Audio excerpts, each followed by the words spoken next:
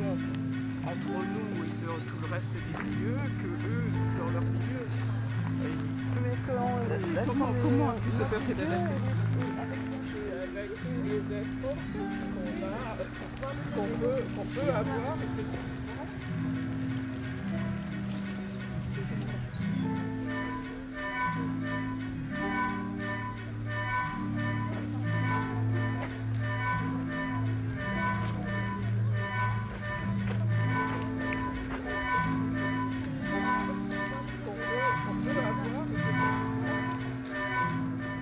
Nature, les formes, les couleurs sont en harmonie, mais ce n'est pas dû totalement au hasard, puisque ces formes, ces couleurs dépendent de- des conditions physico-chimiques du milieu, dépendent de la lumière, dépendent de la température, dépendent de la quantité d'eau disponible.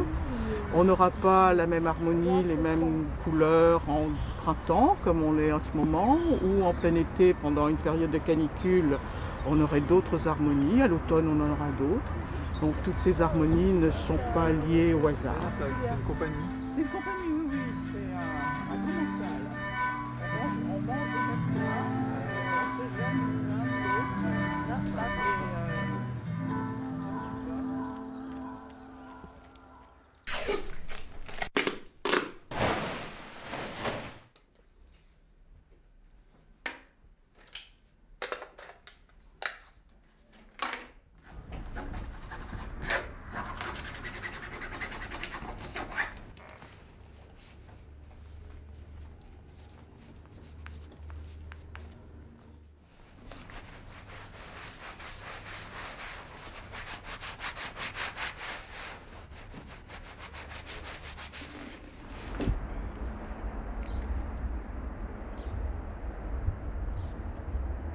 这个，呃，我想他的作品在中国的传统绘画里面是可以找到根据的，因为，呃，他非常注重色彩之间的虚实关系，也就是说，我们可以通过，呃，在传统的中国画里面呢，呃，是可以通过色彩的白空处，就是空白是很重要的，我们可以看见空白后面的东西。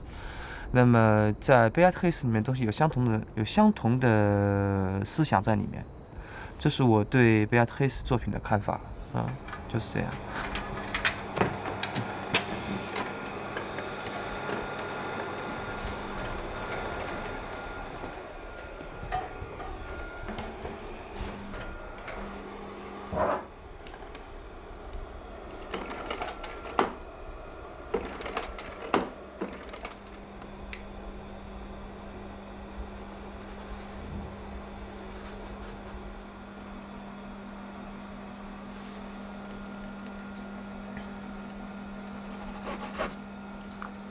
Il me semble que les artistes dits plasticiens qui se servent du, média photo pour leurs œuvres euh, de peinture, euh, il me semble que c'est une espèce de carnet de croquis qui vont réinterpréter, à savoir que lorsqu'ils passent devant une scène, euh, un personnage ou autre, dans la rue ou ailleurs, ils veulent absolument conserver un souvenir de, ce cliché qu'ils ont eu avec l'œil. Et ensuite, ils vont le réinterpréter à leur manière.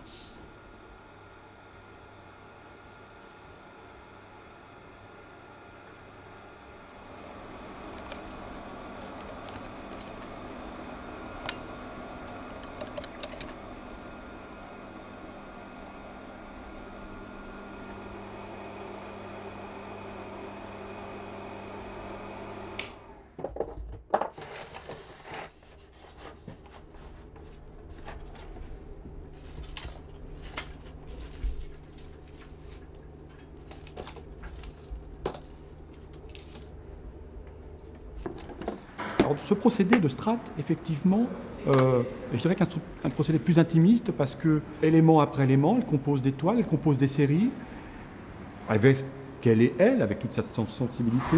Alors ça se voit sur la couleur, elle dominante de bleu souvent, dans souvent de ces séries, euh, amène effectivement une, forme d'expression. Et puis le côté strat euh, fait évoluer cette vision au fur et à mesure, cette patte au fur et à mesure euh, bah, de son de intérieure. euh. et ces tableaux racontent quelque chose, ils racontent souvent euh, quelque chose d'assez intime. hein. On voit bien que elle s'ouvre au monde, raconte quelque chose, mais raconte ce qu'elle ressent, ce qu'elle est éminemment sensible.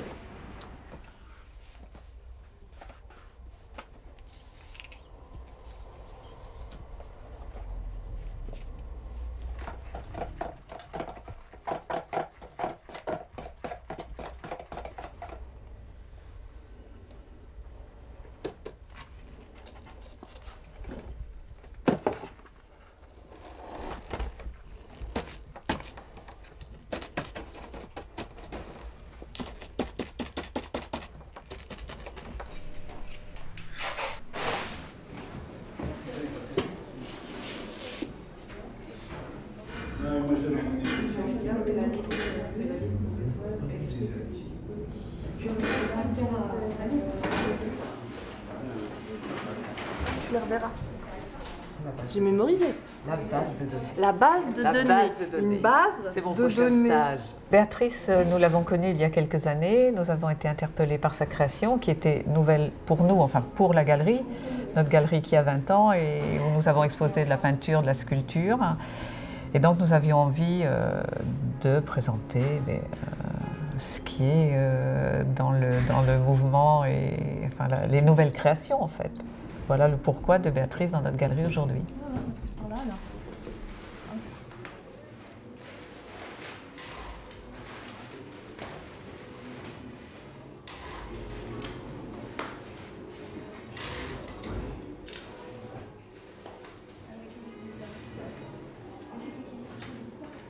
Donc Béatrice, je crois, elle travaille avec des matériaux euh, très divers. hein. Elle, les, elle les mixe, elle les remixe. C'est un long travail qui implique une gestuelle, qui implique le corps.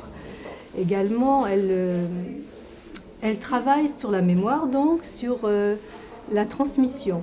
Je crois que c'est aussi quelque chose, c'est une interrogation de cet ordre-là.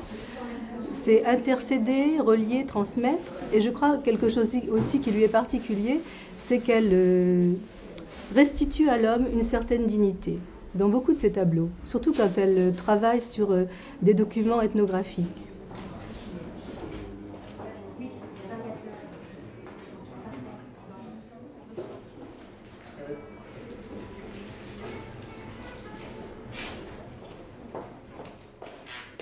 Les toiles de Béatrice laissent l'imagination parler. C'est ce que j'aime dans ces toiles. En plus, il y a de la matière. Souvent, il y a de la brillance et ça donne du relief et ça fait parler la lumière.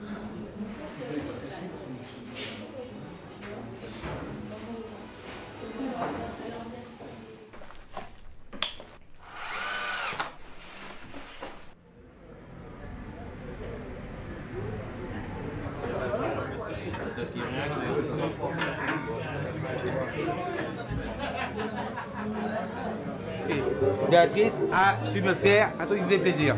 Je lui ai demandé de me créer une toile au thème de la grappe de raisin. Et je lui ai même demandé d'en faire un deuxième.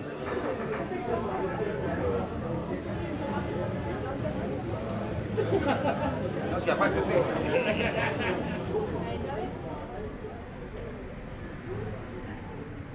Donc j'ai remis un personnage, mais en fait ils reviennent les personnages euh, chez tu les réécris ton personnages. histoire à chaque fois dans une toile hein Parce que c'est notre interprétation. Non, mais bah, c'est parce qu'en fait j'avais envie de récupérer des.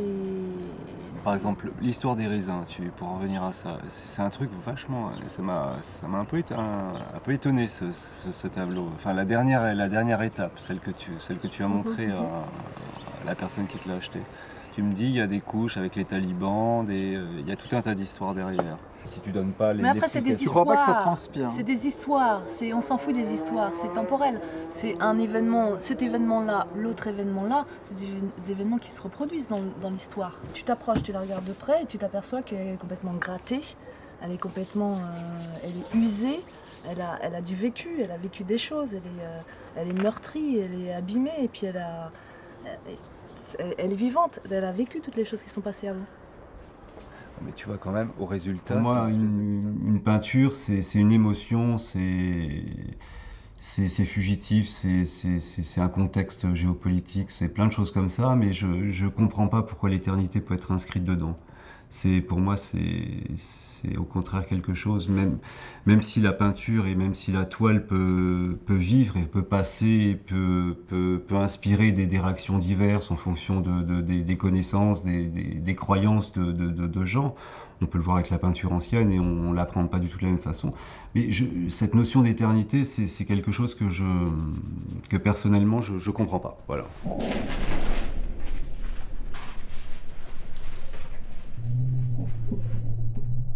Et je crois qu'à partir du moment euh, où l'artiste reste centré sur ses préoccupations, il peut euh, prendre des risques sur les limites des médiums qu'il utilise, parce que euh, l'important, c'est sa préoccupation centrale, son obsession. À partir de là, en la testant, en, en l'expérimentant à travers divers médiums, il va obtenir des éléments de réponse qui vont lui permettre d'avancer, d'avancer, d'avancer.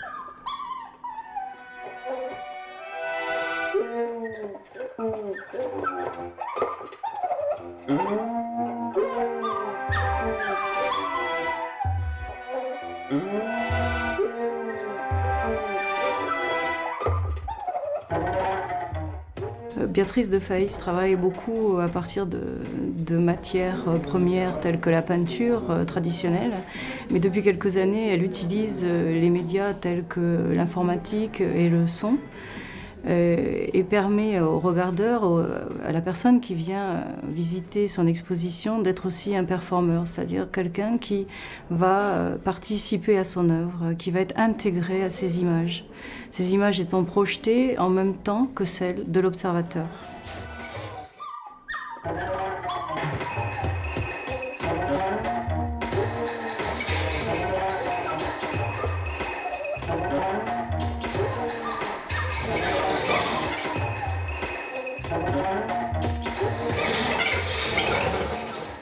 Connais son œuvre depuis quelques mois.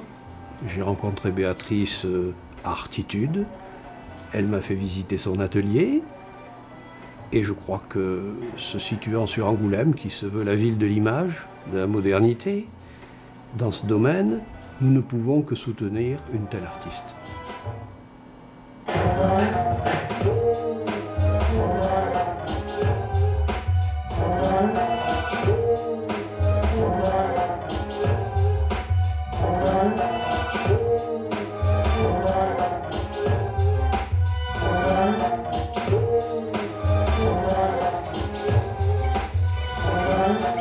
C'était un coup de cœur. Et puis, ça a été aussi cette rencontre euh, entre euh, cette difficulté qu'on trouve aujourd'hui dans la diffusion de l'art et le choix qu'elle a fait d'utiliser un autre support pour ses créations plastiques, pour toucher un public, une clientèle, montrer son travail.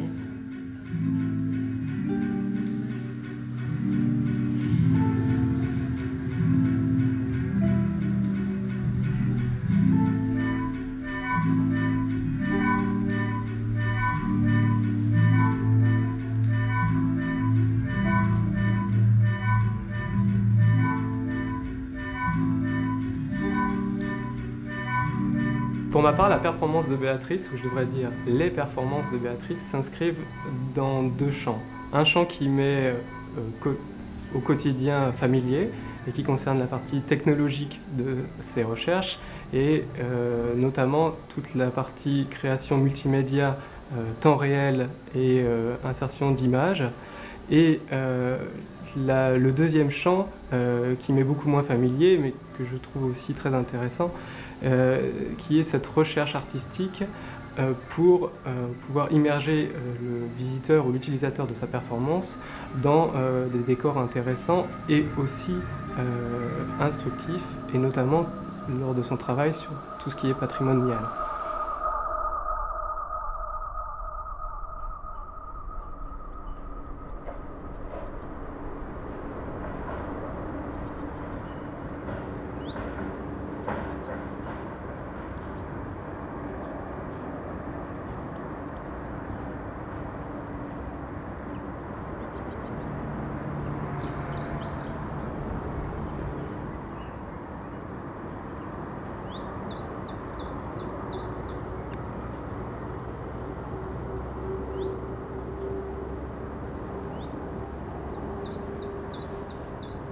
Sur l'opération végétale, l'opération végétale est faite pour mettre en valeur le site de l'abbaye euh, par le biais d'installations d'art plastique et d'art contemporain en fait. hein.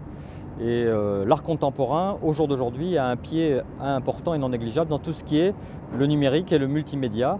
Donc euh, on a essayé de choisir un artiste qui nous proposait quelque chose dans ce domaine-là. Et c'est vrai que quand on a rencontré Béatrice de Faïs, on a rencontré quelqu'un qui est à la fois peintre et aussi quelqu'un qui travaille le, multimédia et, le- et les images numériques. Cette démarche nous a paru intéressante dans le fait d'entremêler peinture et images numériques.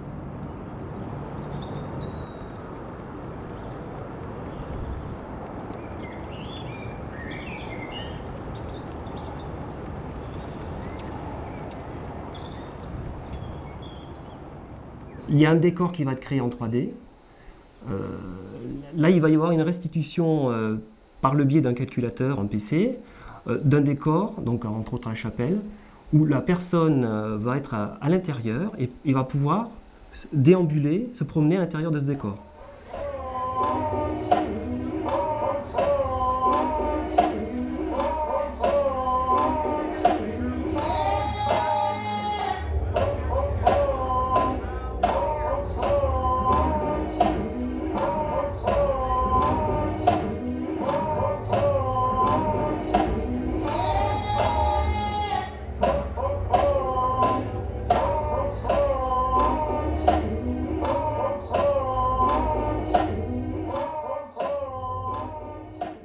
Le son en fait accompagne l'image. Par moment, il se décale de l'image sans gêner l'œuvre en elle-même. Parce qu'en fait, dans, dans cette performance, il y, a une, partie de... C'est du live, donc il y a une partie d'improvisation. Donc euh, c'est... euh, même si moi, euh, je, prépare des échantillons, si je prépare des, on va dire, des compositions, mes compositions, je les change pendant la performance. Elles ne sont pas faites... en live, elles ne jouent pas comme quand je les prépare euh, dans mon labo.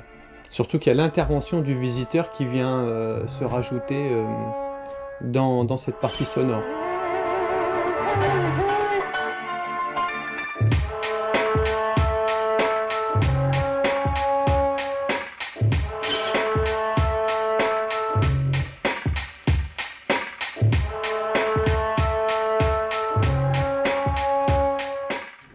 L'intégration du spectateur dans l'œuvre d'art, c'est permettre à la personne qui est intégrée dans cette œuvre d'apporter à cette œuvre aussi toute son, euh, sa propre aura, sa propre culture et euh, lui permettre une explosion dans un univers totalement inconnu pour lui. C'est-à-dire, c'est la fusion de deux personnes via un support qui amène euh, une explosion en fait artistique.